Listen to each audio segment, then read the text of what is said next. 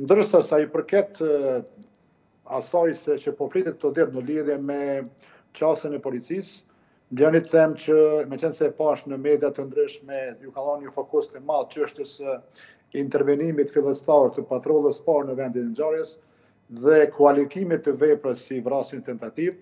më lejoni ta shpjegoj së paku një pikëpamje timën. nëse nëse besoj që është e interesit për publikun e gjerë. Zakonisht në raste të tilla, polici i parë që vjen në vendin e ngjarjes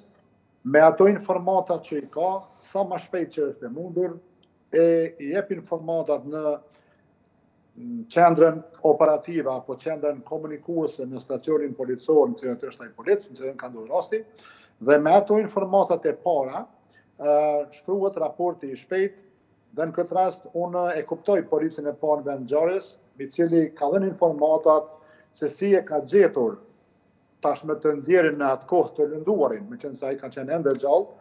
dhe duke pas parasysh informatat që i kam, se aty është gjetur edhe një thikë, edhe disa gjësende tjera, atëherë polici i parë në vendin e ngjarjes, informatat që i ka dhënë qendrës komunikuese të stacionit, kanë qenë ashtu si atij ia ka marrë mendja që ka ndodhë rasti. Janë procedura standarde në policinë e Kosovës, Dhe mendoj që polici i parë është një polic patrullues që zakonisht nuk kanë përvojë në hetime mhm. dhe ai më së pakut unë ashtu si e kam kuptuar, i ka dhënë ato shënimet e para dhe duke konsideruar se aty është gjetur një thikë, po supozoj që ai ka menduar që viktima, në këtë rast i ndjeri tash, është therur me thikë. Dhe ndërsa sa i përket kualifikimit të vrasjes në tentativë, Mendoj që fillimisht ka qenë një kualifikim ashtu si duhet, për shkak se uh, i ndjeri, pra i riu, Lulzim Fejzullahu, ka qenë gjallë, ka qenë i lënduar, dhe në ato momente mendoj që kualifikimi fillestar ka qenë në rregull. Uh, pastaj, e keni pa që ne i kemi pa pamjet, në, sigurisht nga kamerat që janë gjetur aty afër, Mirëpo polici i parë në vendin e ngjarjes nuk i ka pas ato pamje. Dhe ato shënime, ato shënime që i ka dhënë, ka dhënë nga ato që i ka pas në vendin e ngjarjes. Pra, nëse ia ka gjetur ndonjë letërnjoftim të riut, i ka dhënë shënimet, emrin, mbiemrin, datëlindja ato që janë fillestare dhe gjendja që është dhënë. Nëse ka pas ndonjë dëshmitar, sigurisht se e ka pyetur. Mirëpo në ato momente besoj që nuk ka pasur. Ndërsa është detyrë e policisë A do duhej pra që të kishte hetues policor në vendin e ngjarjes aty pikërisht ku ka ndodhur? Po vi atë. Është detyrë e policisë pastaj mhm. që pas patrullës së parë të shkojnë hetuesit, një herë hetuesit e stacionit e pastaj të thirren edhe hetuesit rajonal, të cilët janë të specializuar për raste të tilla dhe raporti i shpejtë vazhdues të shënohet me shënime të tjera, duke u bazuar edhe në incizimet që janë gjetur Pra të plotësohet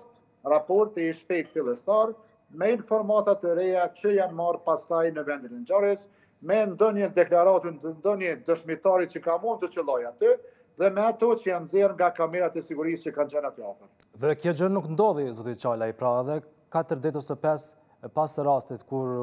u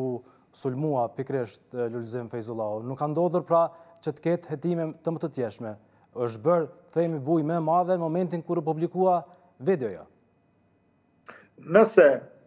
Policia e Kosovës nuk ka zhvilluar hetime të mëtutjeshme nga hetuesit e stacionit, respektivisht hetuesit e rajonal, rajonal atëhere është shumë dëshpëruese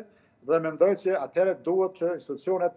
menaxhmenti, komandanti i stacionit, menaxhmenti i drejtorisë rajonale, menaxhmenti i Policisë së Kosovës, të merret seriozisht me të gjithë ata akterë të cilët pra po supozoj meqenëse nuk e di, mirëpo nëse konstatohet që ka pasur mungesë të hetimeve, atëherë me të vërtetë është dështim i madh dhe duhet që edhe inspektorati policor, po ende pa e pritur inspektorati policor, duhet që menaxhmenti të reagojë duke bërë suspendimin fillimisht të, të zyrtarëve të cilët kanë dështuar në marrjen e përgjegjësive, në zhvillimin e hetimeve, e kështu edhe e kështu me zinxhir deri te deri te eprorët e atyre njësive që janë përgjegjëse. Dhe pastaj të kyçet inspektorati në mënyrë që të hetojë për dyshimet eventuale, po prapë po rezervohem meqenëse nuk i kam informatat mhm. se ka pasur hetime vazhduese apo jo.